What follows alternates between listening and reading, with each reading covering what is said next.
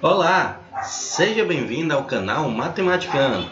Esse vídeo ele vai direcionado para os meus alunos do nono ano, nono A, B e C. Então, nessa aula a gente vai revisar os conceitos de equações do segundo grau. Vamos resolver oito exercícios para você revisar para a sua provinha.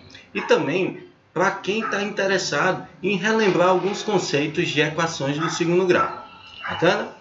Então vamos lá para a nossa primeira questão. Então a gente vai resolvendo os exercícios e fazendo algumas revisões, determinando é, alguns conceitos de equações do segundo grau. Então vamos lá para a nossa primeira questão.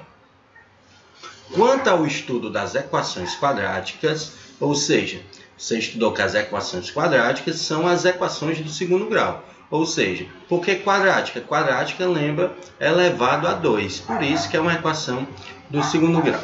Classifica-as em completa, a gente viu as classificações. Ela pode ser completa. Quando é que uma equação é completa? Quando ela está nessa forma, ax quadrado mais bx mais c igual a zero. Lembrando que o b e o c tem que ser diferente de zero para ela ser completa. E qual é a incompleta em b? Incompleta em B, o B é exatamente zero, ou seja, ela vai estar nessa forma. ax mais c igual a zero. E a incompleta em C, como é que seria? Então, você pega essa completa aqui e você zera o C. Então, desaparece o C. Então, ficaria ax mais bx igual a zero. Claro que o A e o B são diferentes de zero. E na incompleta em B e C só vai aparecer o A. Então você vai cortar o bx e o c, vai ficar o quê? ax igual a zero. Então é só encaixar os itens num desses quatro tipos de equações do segundo grau. Então você observa aqui que tu tem 3x quadrado menos 27 igual a zero. Eu te pergunto, essa equação é completa? Dá para perceber que não. Por quê? Porque na completa tem três termos algébricos e aqui só tem dois, então a gente já sabe que ela é incompleta. Então vamos identificar se ela é em B ou em C. Por quê? Em B ó, tem dois termos algébricos, em C também. Já quando ela é incompleta em B e C ao mesmo tempo, só tem um termo algébrico. Então, o item A ou ela é incompleta em B ou ela é incompleta em C. Como é que você determina? Tranquilamente. O A ele é exatamente 3. O B é, acompanha quem? Você, o B ele é o coeficiente do x. Eu te pergunto, tem x nessa equação? Exatamente não, ela não tem x. Se ela não tem x, você adota como sendo zero. O nada é representado justamente pelo zero. E o C é justamente quem? Menos 27. Então você já sabe que essa aqui ela é incompleta em B. Como é que a gente resolve uma equação incompleta em B? Por quê? Porque além de classificar, é pedido que calcule suas raízes. Então, como é que a gente calcula é, as raízes de uma incompleta em B? Bem simples, é só lembrar que o x ele é igual a mais ou menos a raiz de menos c sobre a. A gente vai aplicar isso. Então, x aí vai ser mais ou menos a raiz de Quanto é o C? Ó? Menos 27. Então, fica menos, que multiplica menos 27. Sobre o A, que é justamente 3. Aí eu te pergunto, o produto de dois números negativos, ou seja, dois sinais negativos, menos com menos vai dar mais. Lembrando que para multiplicação e divisão, sinais iguais, resultado positivo. Sinais diferentes, resultado negativo. Então, menos com menos dá mais. Aí, 27 dividido por 3 Ok, isso mesmo, 9. Então, mais ou menos a raiz de 9. Quanto é a raiz de 9? Lembrando que se você souber os quadrados perfeitos, fica mais fácil de você determinar suas raízes. Como assim? Quadrados perfeitos. 1 ao quadrado é 1. Então, a raiz de 1 é 1. 2 ao quadrado é 4. Então, a raiz de 4 é 2. 3 ao quadrado é 9. Então, a raiz de 9 é 3. E assim por diante. Ou seja, o x é igual a mais ou menos 3, mais ou menos 3. Você encontrou as raízes. Lembrando, quando ela for incompleta em B, você percebe que as raízes elas são simétricas, opostas ou simétricas. Ou seja, se uma raiz é mais 3, a outra é menos 3. Por hipótese, se uma raiz for menos 10, a outra vai ser mais 10. Então, exatamente isso, a gente já terminou de resolver o item A. Vamos lá agora para o nosso querido item B. Vamos lá. Menos x quadrado mais 25x igual a zero. Você percebe que tem um A, lógico, que acompanha o x quadrado, por isso que é uma equação de segundo grau. E tem um valor que acompanha o x, então tem um B, que é 25. E tem termo independente, que é o termo independente, que não depende de x. Não tem esse termo independente, tela incompleta em C. Vamos lá? O A vale menos 5, né? Tá aqui, ó. O B, que acompanha o x, B é igual a 25. E o C é zero. Isso quer dizer o quê? Quer dizer que essa equação do segundo grau ela é incompleta em C. Pronto. Para que saber isso? Além de foi pedido para você fazer a classificação, a gente tem que determinar as raízes. Quando ela é incompleta em C, você já sabe de imediato que uma das raízes é nula. Olha aí, você já encontrou uma raiz. E a outra raiz? Ou o valor de x será o quê? menos b sobre a. Não é assim? Pronto. Só substituir. Você já tem o valor de b? Sim, é 25. Já tem o valor de a? Sim, é menos 5. Então, x vai ser o quê? Menos, porque já tem na fórmula. E boto 25, ó. 25 sobre o a, que é quanto? Menos 5. Aí eu te pergunto, novamente, menos com menos dá o quê? Na multiplicação ou na divisão? dá mais. Então, x vai ser 25 dividido por 5, 5. Pronto, você encontrou duas raízes. Relembrando, quando a equação do segundo grau for incompleta em C, uma das raízes é zero e a outra menos b sobre a. Só isso, tranquilo. Vamos lá o nosso item C. O item C tranquilidade. Por quê? Porque você percebe que só tem um termo algébrico. Está aqui. Ele se parece justamente com essa de cima aqui, ó, quadrado igual a zero. Então ela é incompleta em B e C. Por quê? Você vê que o A é o que acompanha o x quadrado. O B não aparece aqui, o x, né?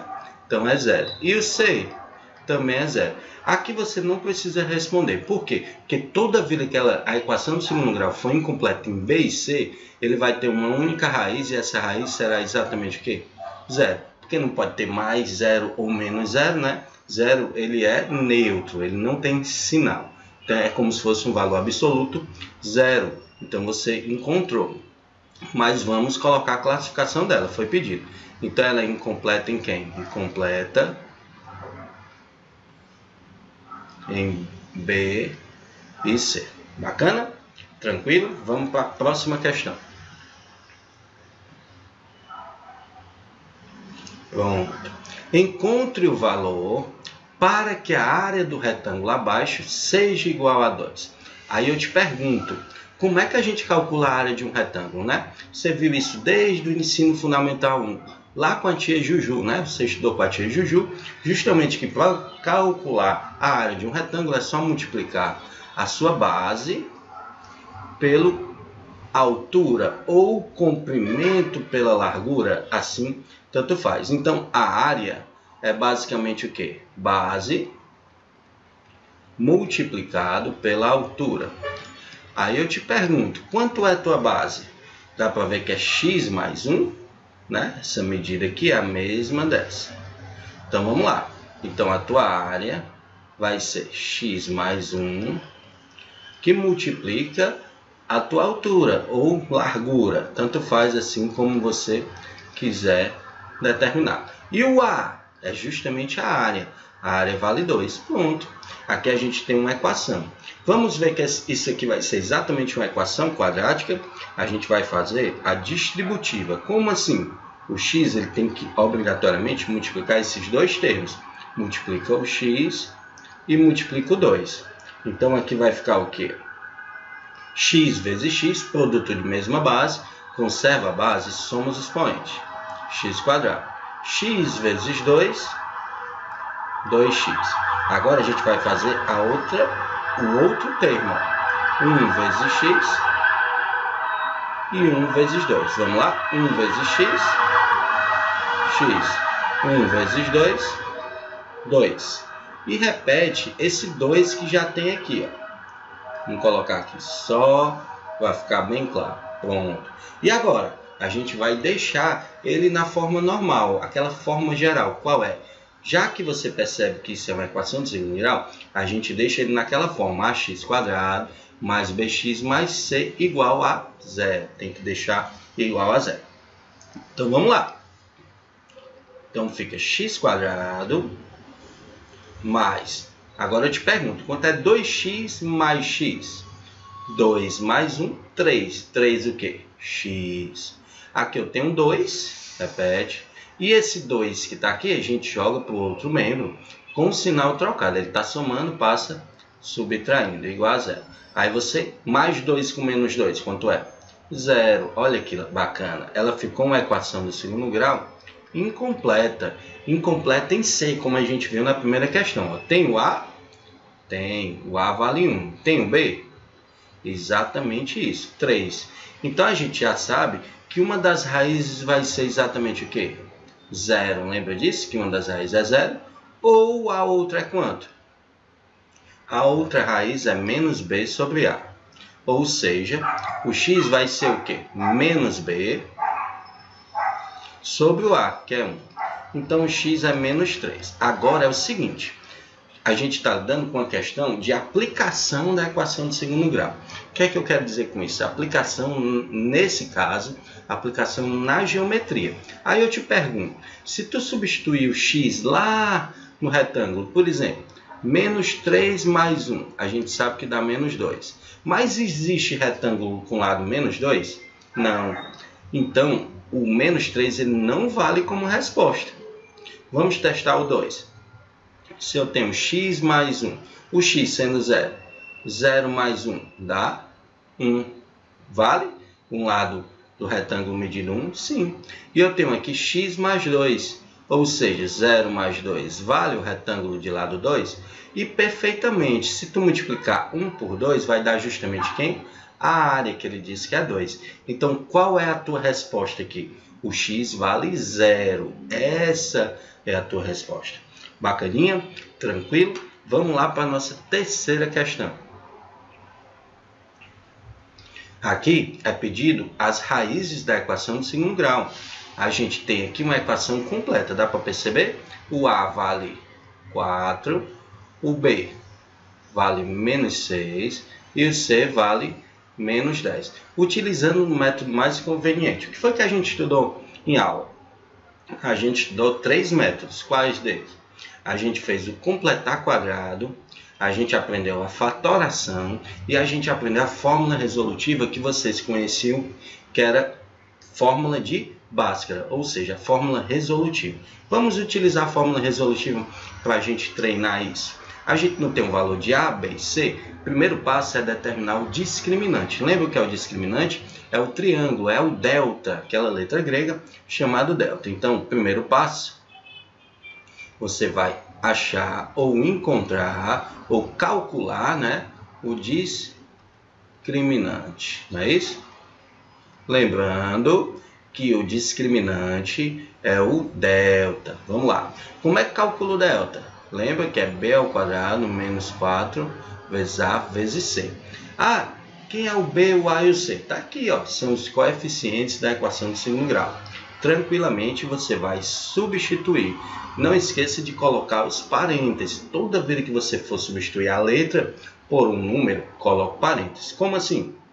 O B tem B ao quadrado. E quanto é que vale o B? Menos 6. Então você coloca aqui, ó, no lugar do B, bota o menos 6 e bota o parênteses. Menos 4 vezes o A. Vale exatamente 4. Vamos colocar o parênteses. Isso. E o C vale menos 10. Ó, se tu colocar assim menos 10, está errado. Não pode juntar o sinal de vezes com de menos. Por isso que eu já peço para colocar o parênteses. Ah, Nanise, e quando for um valor positivo? Tranquilo, você poderia até deixar sem, assim, mas aí você vai ter ah, quando é positivo, quando é negativo, quando é que coloca? Não, coloca sempre o parênteses, que aí não tem erro. Então, só lembrando que o quadrado de um número negativo é sempre positivo, não é não? Então fica mais. E 6 ao quadrado? 6 vezes 6 36.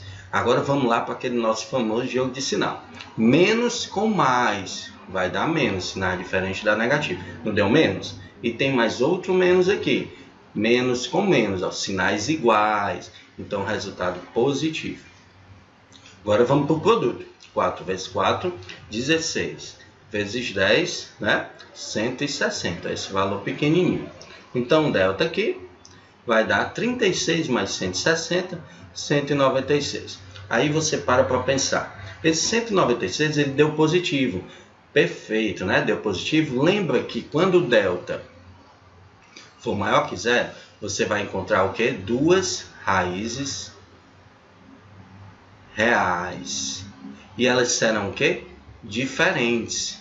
Que a gente até disse que era distintas, né? Que é o nome mais bonito, né? Do que diferente. E quando delta é igual a zero? Só para relembrar, não é esse caso, mas eu estou comentando para a gente relembrar isso. Quando delta é igual a zero, também tem duas raízes reais, só que elas vão ser o quê? Iguais.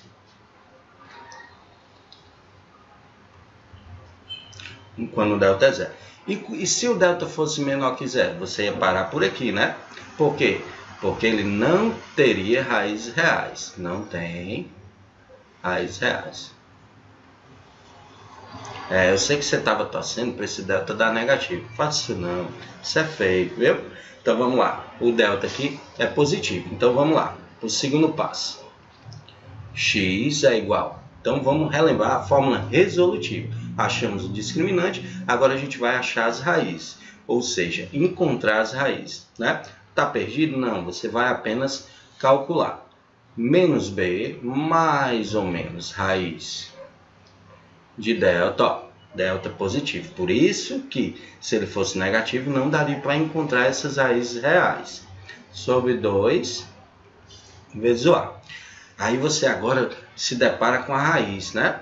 Aí você tem que lembrar dos quadrados perfeitos, que eu tinha comentado em questões anteriores. Bacana? Então vamos lá. Então o x ele vai ser exatamente menos, ó. Toda vida que for substituir a letra por um número, bota parênteses. Menos 6 mais ou menos a raiz de delta, 196, sobre duas vezes o A. O A é exatamente aqui, ó, 4. Então vamos lá, continuar aqui a nossa resolução. Então o x, ele vai ser ó, menos com menos, sinais iguais positivo, mais ou menos. E agora, raiz de 196? Tem várias maneiras de calcular isso, né? Tenta lembrar os quadrados perfeitos, dá uma estudada nos quadrados perfeitos, 2 vezes 2, 3 vezes 3, 4 vezes 4, 5 vezes 5 e assim por diante. Aqui é 14 vezes 14 que dá 196, então a raiz de 196 é 14. Se você não lembrar também você pode fatorar. 14 sobre 2 vezes o A, que é 4. Vamos logo colocar o resultado aqui. Pagar, colocando o resultado pagando, colocando o resultado. Resultado é 8. 2 vezes 4, 8. E agora, a gente tem mais ou menos. A gente faz os dois de uma vez? Não. Por isso que vai ter duas raízes reais e distintas. Que a gente vai separar. Vai fazer com um e depois com o outro. Como assim? Ó, o x1, tu faz. Tu repete aqui o mais 6 e tu pega o sinal de cima, que é mais 14 dividido por 8. E o x2, que é a outra raiz, né? x1 e x2, duas raízes reais e distintas. Repete o mais 6.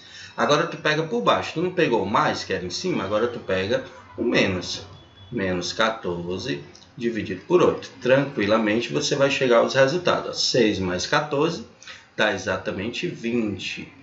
Dividido por 8 simplifica, não deixa assim não. 20 dividido por 8, a gente simplifica por 4, dá 5 meios. Ananias, eu posso deixar em fração? Sim. Sendo uma questão de marcar e tendo números fracionários, você marca. Se for em decimal, seria 5 dividido por 2, 2,5. E aqui, sinais diferentes na adição ou na subtração, a gente subtrai. 14 menos 6 dá 8.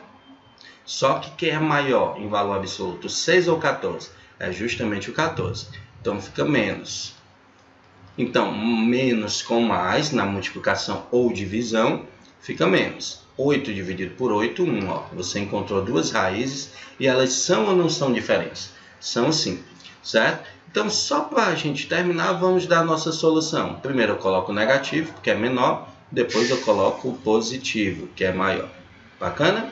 Tranquilinho. Então, esses valores, as raízes, são justamente o quê? Quem torna essa sentença aqui verdadeira. Se tu pegar o menos 1 e substituir aqui, vai dar 0 igual a 0. É verdadeiro?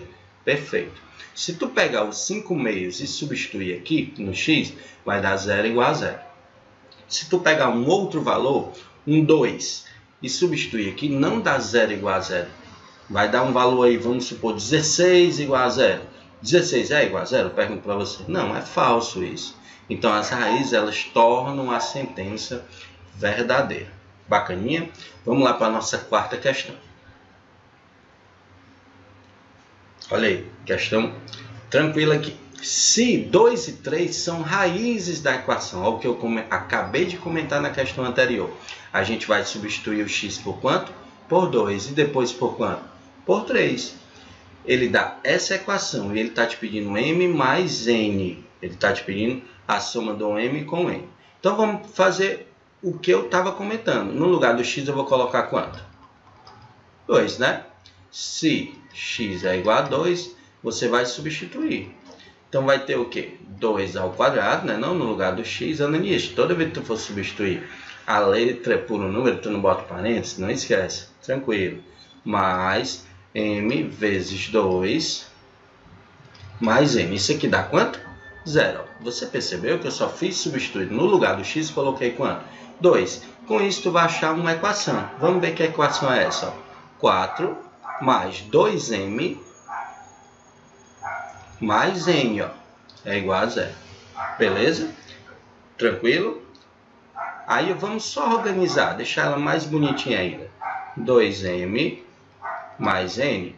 O 4 está somando? Joga para o outro lado, subtraindo. Vamos deixar essa aqui bem guardada. Vamos agora substituir o x por 3. Ó. Ah, por que, que está deixando essa guardada? Porque tu tem uma equação com duas incógnitas. Tu vai encontrar infinitas soluções para essa equação, mas não é o nosso objetivo. A gente quer encontrar apenas uma delas. Vamos agora para o nosso segundo passo. Se x igual a 3, está aqui. A gente faz o mesmo processo. Pega a mesma equação e substitui por quanto? por 3. Então vai ficar 3 ao quadrado mais, vamos lá, m vezes 3, ó, que é o valor de x, mais n igual a 0. Então o que é que teremos? 9, que é 3 ao quadrado, 3 vezes 3, mais 3m mais n, não é isso? Igual a 0. Vamos deixar nesse formato aqui, bonitinho. Então vai ficar 3m mais n Aqui não está 9 positivo, joga menos 9. Então eu tenho duas equações, vamos dizer aqui que é o primeiro, né? E aqui é a nossa segunda equação. Você percebeu que eu tenho duas equações e eu tenho duas incógnitas, então a gente vai montar um sistema e resolver. Basicamente isso, tranquilo. Tá certo? Antes disso, eu vou multiplicar uma delas por menos 1. Por que esse trabalho todo? Multiplicar uma delas por menos 1. Para a gente resolver usando o método da adição, né? Que você aprendeu também em anos anteriores e que você continua utilizando. E vai deixar de utilizar esse ano? Vai acabar? Não, você vai continuar utilizando também em outras partes da matemática, né? Vai construindo aí o seu conhecimento. Então, o que é que a gente vai ter aqui? Multiplicando esse cara aqui por menos 1. Por que por menos 1? Para trocar o sinal, só para isso. Você vai observar por quê. Eu vou ter aqui 2m mais n, a primeira, ó, igual a menos 4. Daqui a nossa primeira. E a nossa segunda, multiplicada por menos 1. Só trocar o sinal, ele é positivo, vira negativo. Esse aqui é positivo, vira negativo. Já percebeu que tem n menos n? E esse aqui é menos 9, com menos fica positivo. Mais 9. Agora eu passo um tracinho aqui, bonitinho, e boto mais aqui para dizer que eu estou usando o método da adição. Eu vou adicionar as duas equações. Menos 3m mais 2m, menos 3 mais 2, sinais diferentes subtrai e dá o sinal do maior. Então fica menos 1m. Aqui eu corto, ó, porque n menos n você corta. 2 menos 2, 0. 5 menos 5, 0. 1000 menos 1000, 0. Por isso que você corta. n menos n dá 0. Exatamente igual a 9 menos 4, que é assim. Menos m aqui, não é menos 1, passa para cá dividindo, não é isso? Mais com menos dá menos. Então, quanto é o valor de m? Menos 5. Ah, mas ele não está te pedindo o valor de m, não é isso? Ele está pedindo m mais n. Eu preciso achar quem?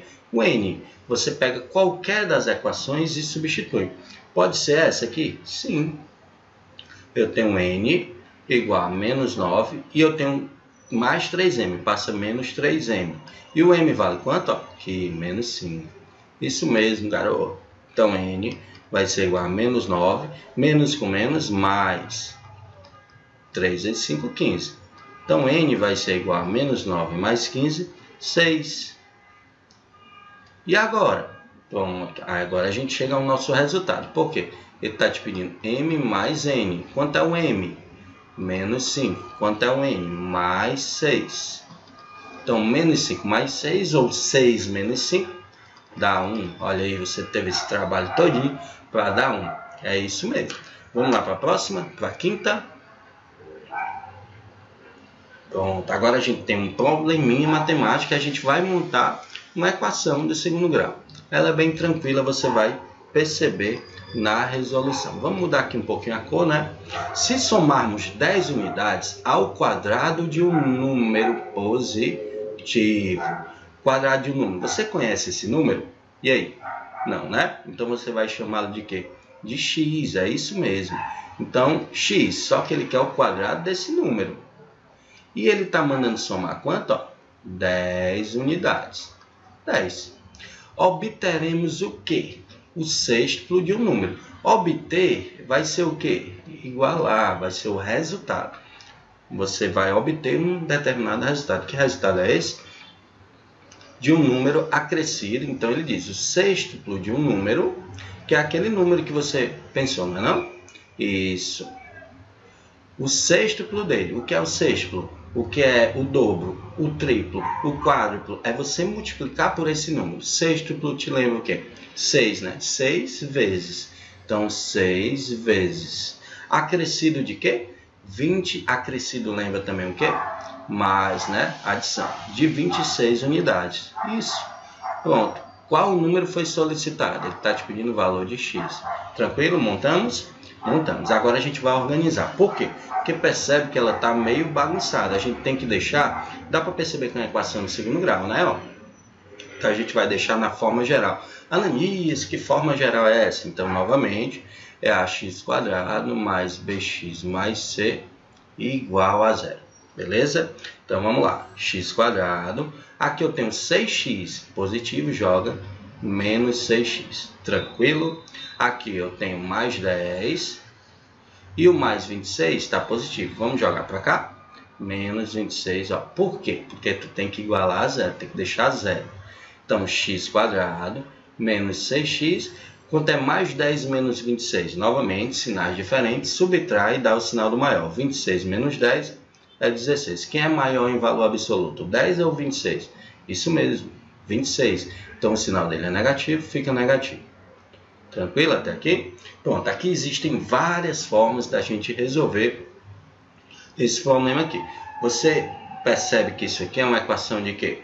É uma equação né, do segundo grau. Aí existem várias formas de resolver essa equação do segundo grau. Existe é, completar quadrados, existe fatoração. Eu vou usar aquela que da soma e do produto. Bacana? Então vamos colocar aqui embaixo essa forma x quadrado, vou colocar aqui o x, certo? Igual a zero. Você vai perceber porque é que eu deixei esses buracos aí. Pelo seguinte, ó, porque aqui é menos S, S de soma, mais P de produto, não é isso? Pronto, então ficou tranquilo para você identificar. Olha para cá, agora você vai perceber o quê? Que essa soma aqui, ó, é só comparar as duas somas. Menos com menos dá o quê? Mais. Ou seja, quer dizer que a tua soma dá 6. E olha para essa aqui, ó. compara uma fórmula com a outra. Mais com menos dá menos. Então, o teu produto é o quê? Menos 16. E agora, tu vai pensar em dois números. Por que, que é dois números? Porque é a equação do segundo grau. Você tem até duas raízes, não é isso? Então, pense em dois números. Ananias, começa pela soma pelo produto? A dica é tu começar pelo produto. Por quê? Porque tu pode pegar quaisquer dois números, claro que a soma desses seis vão ser infinitos valores. Já o produto não, fatores são limitados, né? Quando a gente fala inteiros, né? A gente está trabalhando com inteiros. Então vamos lá. Para um produto da 16, você poderia pegar 1 e 16. Tem mais algum? Tem. 2 e 8. Tem mais? Tem. Pode ser 4 e 4. Agora vamos lá. 2 vezes 8 dá 16? Sim. Ah, Ananias, mas aqui está dando menos 16. Isso quer dizer o quê? Que um dos valores tem que ser negativo. Por quê? Porque você lembra que menos vezes mais dá o quê? Dá menos, que é o nosso objetivo. E a soma deu o quê? positivo. Então quer dizer que o maior deles, ou 2 ou 8, tem que ser o quê? Positivo. No caso, o maior deles, que é quem? O 8. Então quais são as raízes? Menos 2 e mais 8. Vamos testar? Menos 2 vezes mais 8 dá menos 16. Perfeito. Menos 2 mais 8 dá mais 6. Perfeito? Perfeito. Quais são as duas raízes? E essas duas raízes são tua resposta? Não, porque ele está dizendo bem aqui, bem claro, que o x é um número que positivo. Então, qual é a tua resposta? Qual é o, do, qual é o que é positivo aqui? Ó? O 8. O 8 é positivo e o menos 2 não é a tua resposta. Então, qual foi o número solicitado? 8. Tá certo? Tranquilo? Vamos lá para a nossa sexta questão.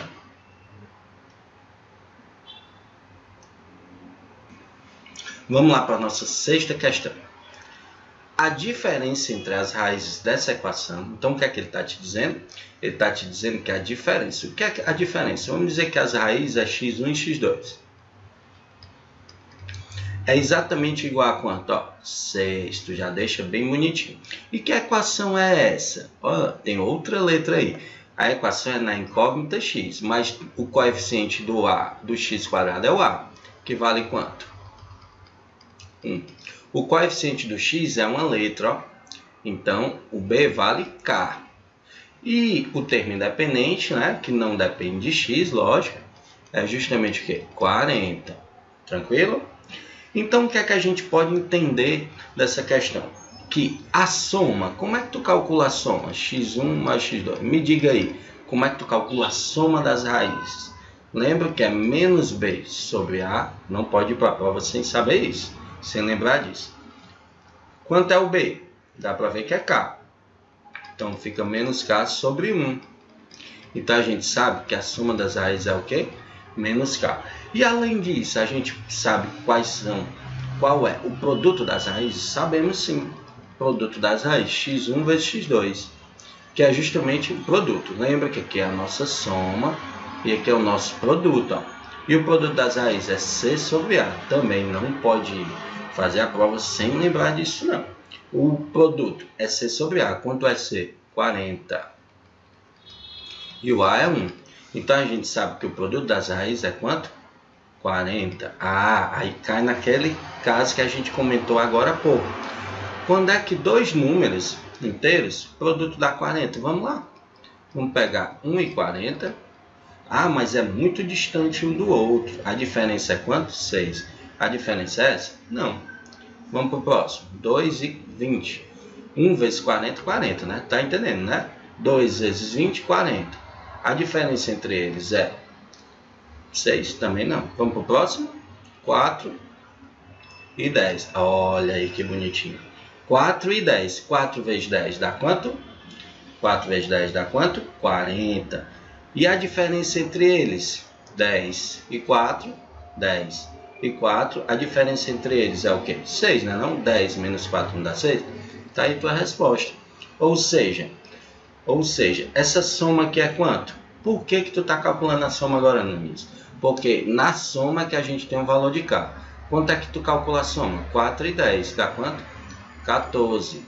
Então, menos K é igual a 14. Então, qual é o valor de K? O valor de K é menos 14. Está aí. Então, qual é essa equação de segundo grau lá? É x quadrado. No lugar do k, tu bota o menos 14. Ó. Menos 14x mais 40. Tu vai encontrar que raízes? Tu vai encontrar a raiz 4 e raiz 10, né? Vai ser x1 vai ser 4 e x2 vai ser 10, né? x quadrado menos 14x mais 40 igual a zero. Bacana? Vamos lá para a nossa penúltima questão. Olha aí o que eu tinha falado. Não vá para a prova sem saber essas fórmulas. Vamos lá. A soma das raízes da equação menos 3x quadrado mais 7x menos 8 é igual a... É igual a quanto? Então, como é que a gente calcula a soma das raízes, né? Que eu falava lá nas aulas, que era o S, né? Que é justamente o quê? x1 mais x2. Que é justamente o quê? Menos b sobre a, só isso. E aí, de onde é que vem um B, de onde é que vem um A? Claro que vem da tua equação de segundo grau, que foi dada. O A vale quanto? O A é o coeficiente do x ao quadrado, ou seja, é esse termo aqui ó, que acompanha o x quadrado, menos 3. Não esquece do sinal. O B é quem acompanha o x, ó, mais 7, ou 7, né? E o C é o termo independente, ou seja, que não depende de x. Então, C é igual a menos 8. Tranquilidade, né? Agora é só substituir. Então, a soma, que é o S, é o quê? Menos B sobre A. Vamos lá substituir? Menos, quanto é o B? 7, ó. E o A aqui? Está aqui, menos 3. Aí eu te pergunto novamente, na multiplicação e da divisão, os sinais iguais, o resultado dá positivo. Menos com menos dá mais 7 terços. Só isso. Esse aí é o teu resultado final, certo? Tá aqui, o teu resultado final. Tranquilinho, vamos passar para a nossa última questão. Fechar com chave de ouro. Vamos lá. Então, novamente aqui, o produto das raízes da equação, olha aqui, ele está te pedindo o quê? O produto dessa equação, 2x quadrado menos 9x mais 10 igual a zero. É igual a quanto? Vamos relembrar o que é o produto, né? O produto das raízes, que lá na aula a gente chamava de P, né? Ele é igual a quem? x1 vezes x2, né? Que é justamente o que? C sobre A. Só isso. E aí, de onde é que vem o C e de onde é que vem o A? Vem da nossa equação quadrática, equação de segundo grau. O A é quem acompanha o x quadrado. Então, A vai ser 2. O B, cuidado com o sinal, é quem acompanha o x, é o coeficiente do x. Ele é menos 9. E o nosso C é o termo independente, ele nem depende de x nem de x quadrado, não depende de x. Então vai ser 10. Então no caso, como é que a gente vai calcular esse produto? Tá aqui, ó, C sobre A. Vamos lá substituir C sobre A. Quanto é o C? Ó? 10. E quanto é o A? Simplesmente 2. 10 dividido por 2 dá 5. Esse aí é o teu resultado. Bacana?